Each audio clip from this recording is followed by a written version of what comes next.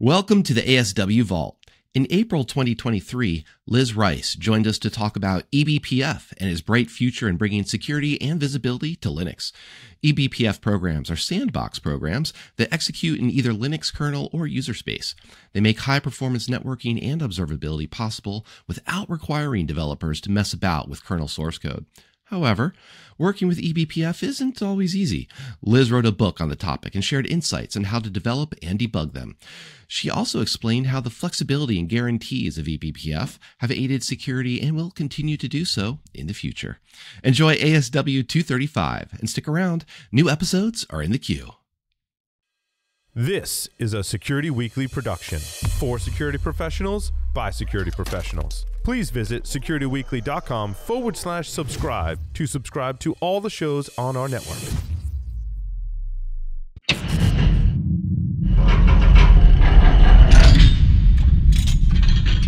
From the Security Weekly Vault, it's the show to learn the latest tools and techniques to understand DevOps applications and the cloud. Your trusted source for the latest AppSec news, it's time for Application Security Weekly.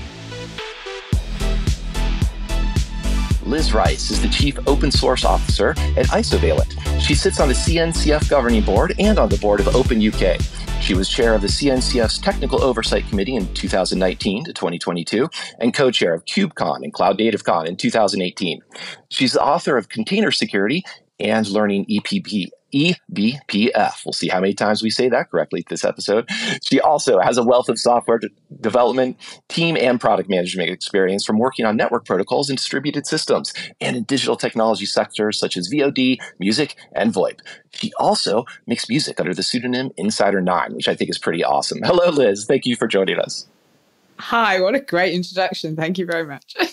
uh, well, it's because we have a great guest, and you are here to uh, walk me back from the ledge, over the ledge about all things eBPF. I'm not sure which way because it's it, it's a really cool technology, but it seems a little bit intimidating to write and to debug as well. So that's what scares me, appeals to me about it. But before we get to to me, let's talk about you. What brought you into the eBPF world in this you know deep security space? Yeah, so I actually remember precisely when I first heard about eBPF because I saw Thomas Graf, who I now work with at Isovalent, but I saw him presenting the Cilium project at DockerCon. We were both speaking in the same track at DockerCon in 2017. And I remember him talking about Cilium and how it uses this eBPF technology. And I thought, that's pretty cool. I, you know, I'm going to keep an eye on this. But at the time, nobody really was using kernels that were that had that level of support. It was still pretty cutting edge stuff in the kernel. Um, but fast forward to today, and basically pretty much everybody is running a new enough kernel in production that they can take advantage of eBPF. So that's why you're starting to hear about it kind of everywhere. and, and that's cool. And you know, I think one of the things is that why we want to hear about it everywhere. I, I, I, touched on a little bit, you know, you know, just three words: networking, observability, security. But I think that's perhaps not compelling enough to convince someone that they should be using eBPF. So, tell us a little bit about what are some of the use cases. What are some of the reasons, security or not, for that matter, someone would want to adopt this. Yeah, so what eBPF lets us do is to run custom programs in the kernel, and we can load them dynamically which means we can change the behavior of the kernel dynamically and in custom ways that are specific to exactly what we want to do in our environment. And the really cool thing about being able to instrument the kernel or modify the kernel is it doesn't matter how many processes you're running, it doesn't matter how many containers you're running, whatever you're running on that machine, the kernel is involved and there's one kernel. So if you put eBPF programs into that kernel, it's going to be able to influence and potentially modify behavior across any process that's running. So, from a security perspective, malicious processes are just as visible as, as legit processes. We can see everything that's going on. We don't have to change our applications in any way for them to be visible to eBPF tooling. Uh, so, it's really very powerful. Uh, indeed, and you touched on some of the security about you know visibility already is I think under legitimately under the umbrella of security, but also too mm-hmm. just being able to see what are those either containers, user space programs doing. It's a way to set up access control. So I think perhaps there's two paths we can take here. We'll, we'll go on a choose your own adventure of creating the eBPF in the first place, but also then applying it to programs or actually having to do something useful that is a, a, security boundary, something to make sure that even that malware can't get on the system, or if it does, it's constrained to a degree. Uh, take your pick.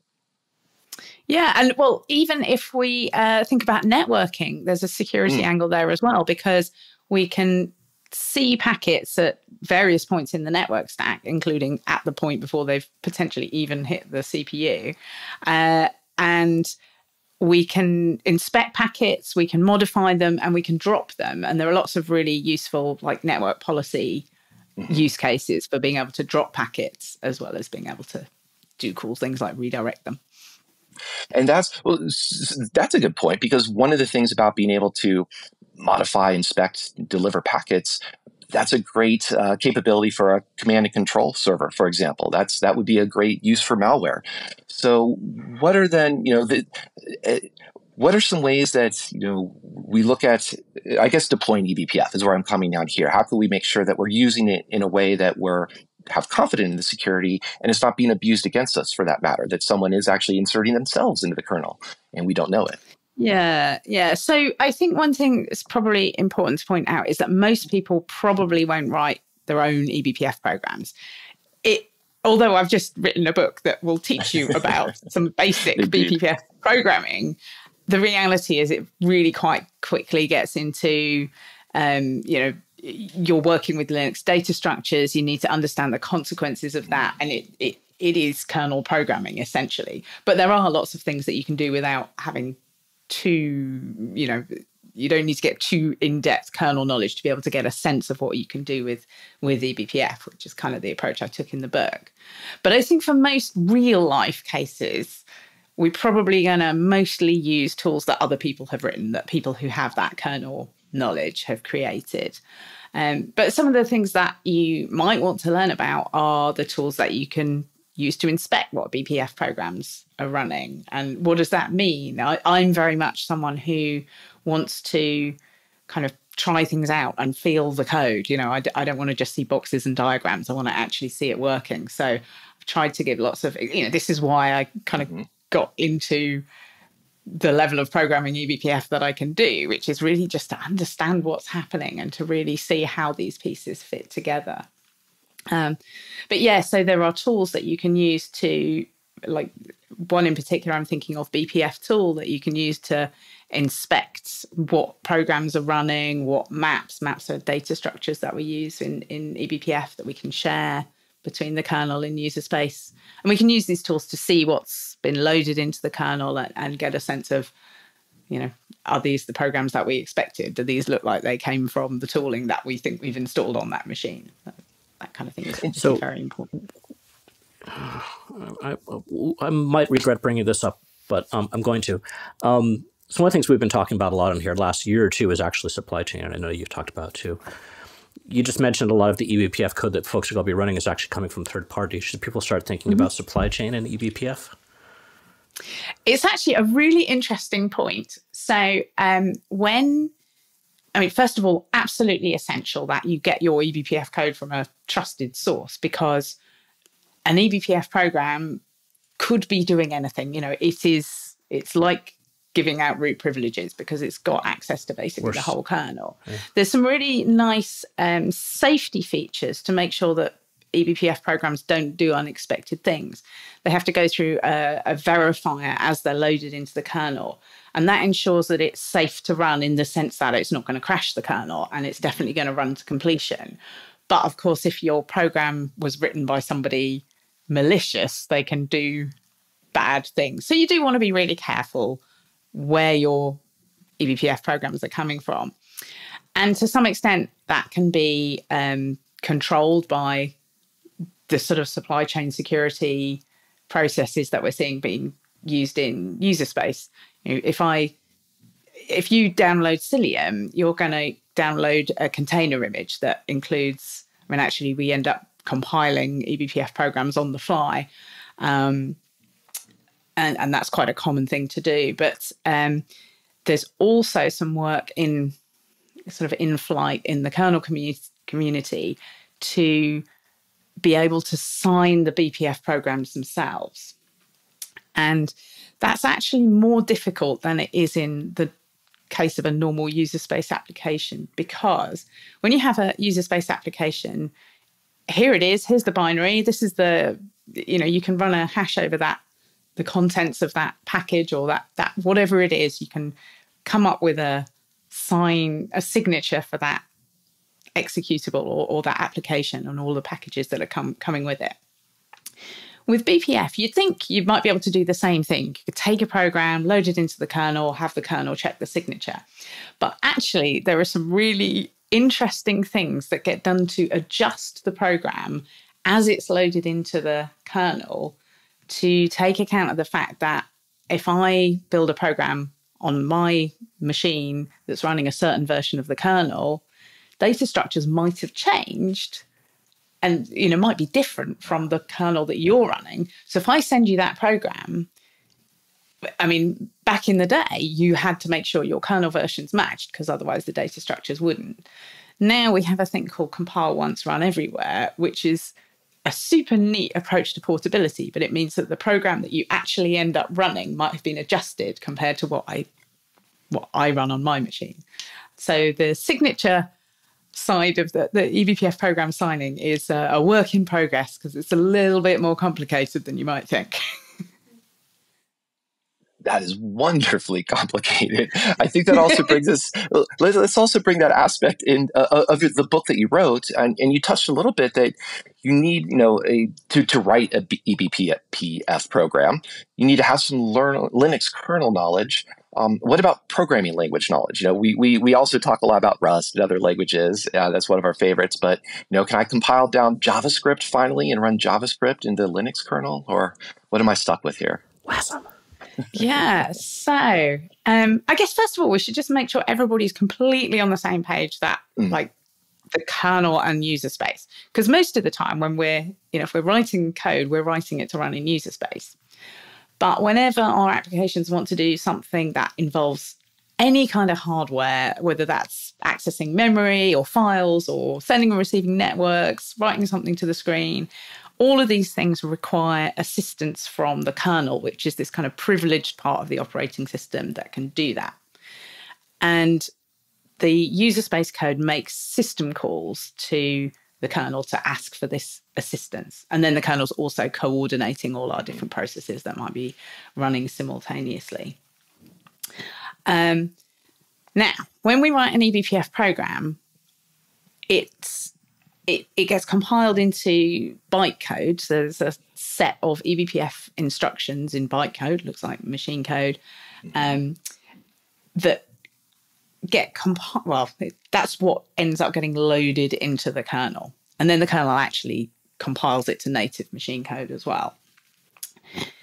To get to that bytecode, I mean, you could theoretically write that bytecode yourself by hand, but as a human being, not many of us choose to do that. We mostly want uh, a higher level programming language.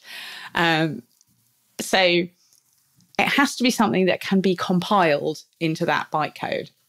And at the moment, the only compilers that support that uh, are, well, the Clang and GCC C compilers and also the Rust compiler. You might think, well, okay, maybe they'll add it to, I don't know, the Go compiler. But in reality, the things like the garbage collection model aren't compatible with the way that eBPF programs work. So you'd end scary. up stripping out so many language features, you'd be back to C anyway. So for the part that you're actually going to run in the kernel, you're pretty much going to write it in either C or Rust.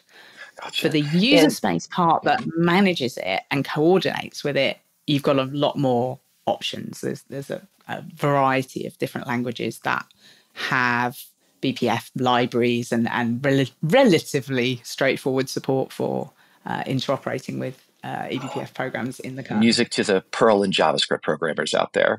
But um, Liz, I don't think there's an SDK for either Perl or JavaScript. uh, I can wish. It's April Fool's weekend, so uh, who knows? Uh, but you mentioned too, like the, the, verifier, for example. And when you mentioned that, the verifier is not about the, the, the C code or you know the, the Rust code that has been written. It's what's been transpiled, compiled down into this bytecode as well. So it sounds like mm. too that's that's I, I, think a distinction to make so that we have better um, insight and confidence that uh, th- th- those properties you mentioned. This is going to this is going to run determination. We know what it's going to do. Things like that, right? Yeah, and I think one of the kind of uh, penny dropping moments when you're trying to deal with the eBPF verifier is that it is running over the bytecode. So or when you see an error message when the verifier rejects something, it's rejecting stuff at the bytecode level, not at the source code. So even if you've got um, essentially oh, yeah. debug kind of bytecode, so you can see what line of source code it is, but you kind of need to understand why it's complaining at the bytecode level, because otherwise the messages are pretty cryptic sometimes. Yeah, printf debugging is not going to be helpful in that case. I'm going to guess. yeah. Don't worry, I won't, I won't make you answer that. We, you, you can tell my, my, my level of uh, experience here in programming anymore. Uh, I'll, I'll foreshadow a little bit to the news and say, hey, maybe you could do something with ChatGPT. there we go. Yeah, we have to. I haven't tried this yet. I do need to see whether ChatGPT can make, you know, write some eBPF code. I'm sure it'll give it a whirl. Well, so speaking still still on this topic of writing the, the, the, eBPF code for other developers to use it to whether it's applied in that you know something performance or we, we want the high performance out of it, but uh, to apply in visibility mm-hmm. or security. What are some of the mm-hmm. principles mm-hmm. then you know that the book covers that you would recommend for someone writing this eBPF so that others can use it? So it's it's consumable and friendly to others you know that do live in user space that want to take advantage of it. Yeah. So in the book, when I start my sort of earliest Hello World examples, use a framework called BCC, which is um, I've used Python. I think it's very accessible. You don't have to think too hard about kind of how things are working, and you can get the sense of here is some kernel code and here is some user space code that manipulates it. And BCC is really useful, particularly if you want to do something pretty quickly and if you're familiar with Python. But because because of that portability aspect that we talked about before. So the way BCC handles portability is to say, actually, I'm not just going to send you some BPF bytecode. I'm going to send you the source code and I'm going to have you compile it yourself. You've got to have the whole tool chain there to convert the source code to the BPF program. Um, we now have this compile once, run everywhere um, approach, which is supported by um, a few different. It, it, requires some user space support as well as compiler support, um, but there's various different libraries that you can use to do that. So if if you're going to go out tomorrow and write a production quality commercial or open source project, but that you want thousands of people to use, you probably want to use one of those compile once, run everywhere um, SDKs and languages to, to enable other people to run it on their version of the kernel. Uh, BCC is a great reference, good open source example of just understanding how it's used, how it's built. What are some other open source tools that you would point people to to either uh, help with development, debugging, for example, or just examples of good eBPF based tools that would be great to use within container space or the you know just general Linux system administration? Mm, I think for people who are getting their hands pretty dirty and actually playing with BPF programs, then BPF tool is a really great command line tool for seeing what's installed, inspecting the different programs and maps and, and all the other different aspects of, of what's in your kernel at the moment. So BPF tool is is really quite powerful. Um, the BCC project comes with a whole load of um, tracing tools. A lot of them were the things that Brendan Gregg was originally popularizing around observability and, and giving you that insight into how your system's performing. And there's a whole host of those, you know, pretty much any aspect of your system. There's a CLI tool that's part of BCC to to do this. Most of those have now got their um, compile once, run everywhere equivalents, so you can install those, and and there is a a package that you can install. So you don't have to worry about that you know where they came from. Here you go. Here's a family of um, really great tools that you can use. And then we start getting into the more kind of broad um, I, I guess more capable more in-depth projects. So things like cilium which is networking platform primarily for Kubernetes, but also for connecting to external workloads as well, um, and doing things like network security a- alongside.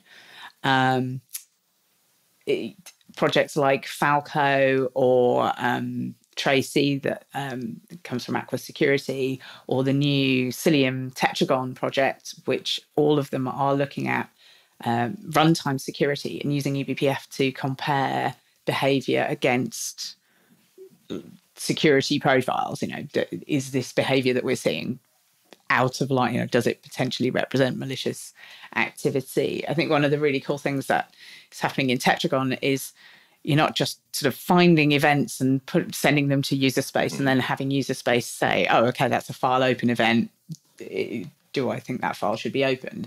With Tetragon, we can actually filter, do the filtering in kernel. So you can have the policy understood within the kernel, a bit like network policy drops packets within the kernel, which I, I quite like that analogy that you can really affect the behavior inside the kernel rather than having to wait for some user space uh, filtering to take place. Yeah, and that's what seems really yeah. compelling about how you describe this is that not only compile compile once, run anywhere, but you also have a central management of a central deployment spot too for the security visibility. You're not you don't have to adjust every single container to, to for this, right? Or you don't have to install this within every single container. So that then you can also see, as, as you mentioned, you know, why is a file open happening? Why is a file read ha- happening for a system that's just doing some stateless data manipulation of uh, you know of a JSON blob. So, so that that seems really compelling. That's like ah, that's we, we should both block it as well as know what's going on because that seems like something hinky is there, something not good. Yeah, definitely, and and I think the future of I, I think there's a, a large amount of sort of undeveloped security practices where um, we will have these profiles that are easy to understand that you can relate against applications and you can say things like you know should this application be sending network messages and if so to whom?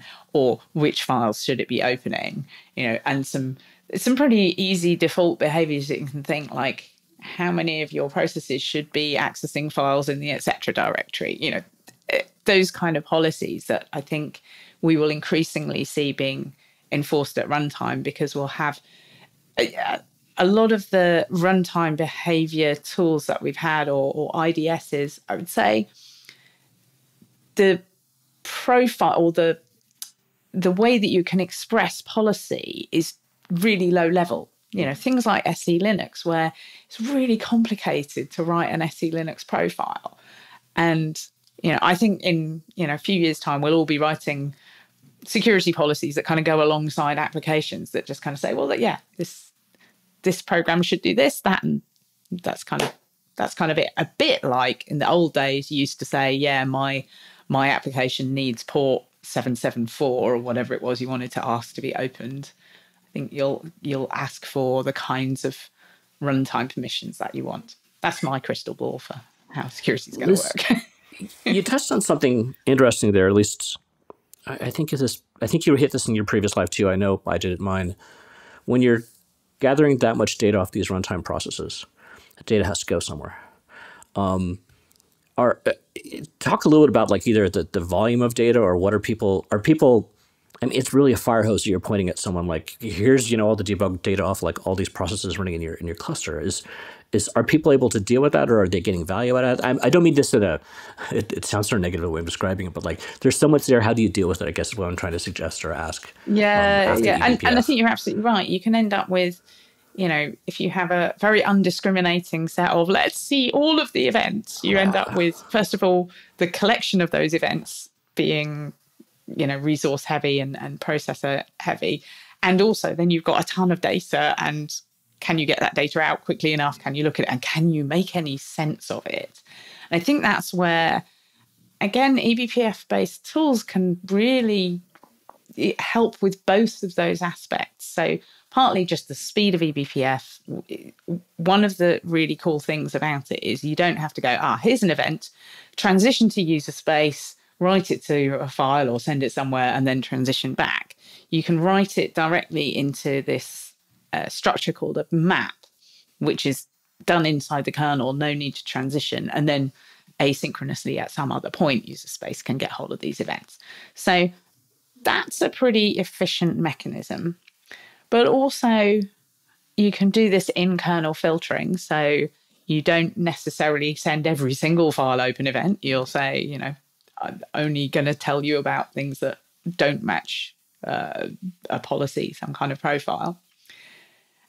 And the other thing that is really cool that we've been doing in Tetragon is the relationship between not just this event happened, but what was the executable that was running at the time what was the process id what's the process hierarchy what containers it running in and in a cloud native environment knowing what was the pod what was the node what was the namespace all of these um, kind of forensic material and you've got all this sort of timestamps so you can see ah this suspicious looking file open or this suspicious looking network connection can actually be traced back to this process that was started in this pod three days ago, you know, and you know, figuring out how that compromised pod came to be compromised becomes a lot easier. And that's a good point that John brings up. What what are some you've you, you have a book you've described a little bit of just the expectations of building EP, an EPPF program, a filter to do something positive for you know beneficial uh, mm-hmm. for security for the end user now that wants to deploy that, adopt that, what are other things that users should think about, consider for deploying, you know, adopting mm-hmm. like configuration, volume of data? Yeah, yeah. I'm actually going to uh, start with a, a positive benefit, and one of them is that you can load eBPF programs into your kernel without it having to affect or disrupt pre-existing processes. Like they will be, you know, a process that's already running. If it's if you're looking at file open events you'll start seeing those file open events. You don't need to restart your processes. You don't need to restart your i mean there's a really great scenario um, called um, well about mitigating packet of death vulnerabilities so if you imagine you've got a vulnerable kernel that you can send it some particularly crafted network packet and it hits a vulnerability in the kernel and that would crash the machine and everybody would have a bad day and if that involves a kernel patch, then well, you've got to install the kernel patch, and you're going to be rebooting the machine, and you've got to figure out how to roll that out across however however big your um, deployment is. That'd With eBPF, too, you can. Real quick. Sorry. It'd be great for forensics as well, also. But keep going. Yes, yes, yes, and you can just download or install an eBPF program with a mitigation to you know find those particularly crafted packets and drop them. And your machines are protected from that vulnerability and you didn't have to restart anything, which I think is a, a wonderful facet of the way that eBPF works. And the fact that you can change things very dynamically and change the, you know what you do or don't have running and eBPF dynamically. I think that's a, a huge a huge bonus. Uh, yeah, so indeed, yeah. very user friendly. P- part of that too, you, you mentioned too, like SE Linux, which is not the easiest thing to configure, especially if you want to say, you know, imagine uh, we mentioned supply chain. Let's throw in an SBOM here that where an application says, here's my SBOM that includes the SE Linux configuration. These are all the syscalls I need to access. You know, how, how, does this look like in eBPF world? Does this make things easier? How you know how can I figure out how to narrow down that I just want this particular user space program to have these few syscalls, but to continue running and not crash at unexpected times? Mm. So actually, one of the um, uses that a lot of people will have already made of eBPF is seccomp, or rather BPF. Mm. Um, so seccomp has been implemented using that kind of um, bpf virtual machine so some relatively straightforward rules but that are used to uh, enforce those seccomp rules about what syscalls can can run or or can't um, eBPF allows us more flexibility, um, things like the ability to look at the parameters that are passed to. I mean, if you pass, let's say, a file name into a syscall, it's probably actually a pointer, and you, if you can't dereference that pointer, you, it may not be that useful. But with eBPF, we have a lot more ability to to look at the the memory that that is mm-hmm. pointing to. So that's a, a, a, an evolution of what you were able to do with with seccomp, even seccomp BPF. Um, there are lots of tools, um, lots of sort of security based tools that have u- taken that syscall approach, but it's not a particularly it's, it's i mean it's fine up to a point but there is a, a, a TOCTOU time of check to time of use ah. uh, gap between looking at the parameters as they're being passed into the syscall and then as the kernel starts processing that syscall it's going to copy that into kernel memory and start building data structures to represent whatever it is that you're acting on and there is a potential window between looking at what was passed in in user space and it actually being copied into kernel memory. And the kernel uh, documentation, if you if you look up uh, the sort of syscall interface, you, you'll find documentation in there that basically says this is not a security interface. Don't don't use this for security. so um, instead, there is a um, a stable interface called the Linux Security Module API that's inside the kernel. Those attachment points are typically after the kernel's built its data structure. So, you know, here's here's a file that I'm about to act on, and you know you're looking at the data structure that is genuinely what the kernel will look at. And you can mm-hmm. attach eBPF programs into that interface as well into that LSM interface. So it gives us the ability to build I mean, things like SE Linux use that interface, but they have this very kind of um, uh, it's kind of cast in stone how you can write those profiles. Whereas if we can attach any custom eBPF program, it allows for a lot of flexibility in how we might write tooling in the future and how we might make it a bit more custom, a bit more bespoke, a bit more user friendly, a lot more user friendly. lot more. And, and honestly, the, making something user friendly sounds like a wonderful tenet to have for a security feature, for something for adoptability. And you mentioned early on uh, that um, there's more adoptability now because kernel support now is more mm-hmm. universal is much yeah. easier. So looking ahead too, you've seen and you've you've like you said like seeing the adoption now. Looking forward, another six months, perhaps another year, or just in some handwave future. What's something you'd like to see, or what, where's the like more more of this positive direction you'd like to see eBPF going? Yeah, I would definitely like to see. Um, and and this is really more on the the user space side, but the ability to craft profiles in a way that normal humans and normal developers and normal security people can Thank understand. Um, so I think that will be a big step forward. Um, we're also going to see, I think, just a huge range of tools that I haven't even thought of. You know, there's so so many different parts of the kernel that can be instrumented and people can do exciting things with. You know, I think it will be there's going to be a, a, a proliferation of ideas that are based on how we can improve the kernel, enhance the kernel, allow you to customize the kernel in particular. So, an example, the kind of thing I'm thinking about in Cilium, we're using eBPF to bypass parts of the networking stack for performance reasons. Essentially, mm. you know, we, we don't necessarily need to use all of it, so we can pass it, and particularly uh, bypass IP tables. And that can lead to some huge performance improvements. I, there must be other sort of similar parallels that you can draw in other areas of the way that a system operates that um, you know are potential areas that uh, eBPF could tackle in the future. Those are cool. We, we definitely don't want people to bypass your book or the the work that you've you've done in the past. So I'm curious too. Well, where, where you've been quite involved in, in, a lot of the conferences from the CNCF. What, where's mm-hmm. something that you would love to draw people's attention to your book, of course, or some other yeah. presentations or conferences that, that you're even excited about over the next couple months? Well, yeah, coming up just in the next couple of weeks, we are two weeks away now from KubeCon as we're recording this.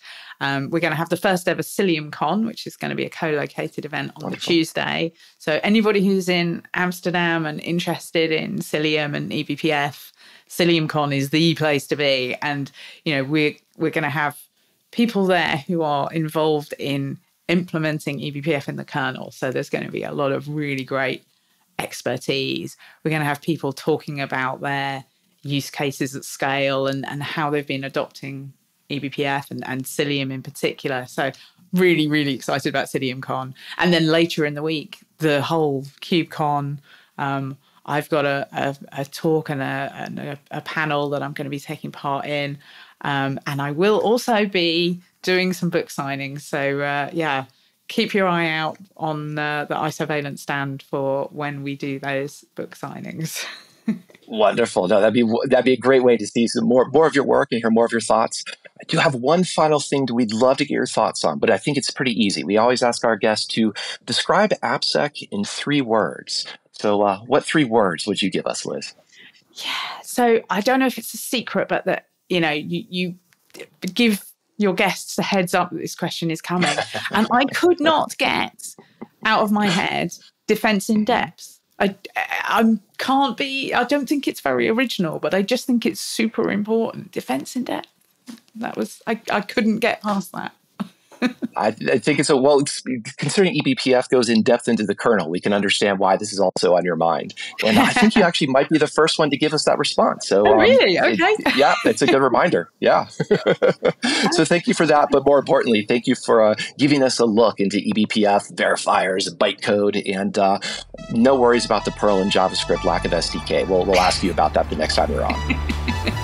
Absolutely, my pleasure. Thanks so much for having me.